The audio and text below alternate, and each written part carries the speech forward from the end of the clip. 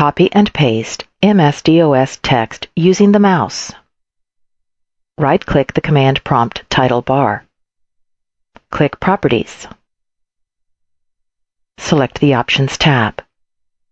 In the Edit Options area, select the Quick Edit Mode checkbox. Click OK. Select the text to be copied. Right-click the command prompt title bar. Click Edit. Click Copy.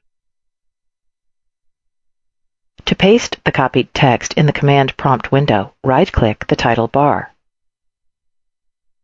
Click Edit. Click Paste.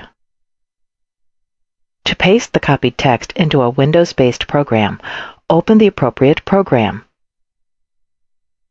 On the Home tab, click Paste. This is the process to copy and paste MS-DOS text using the mouse.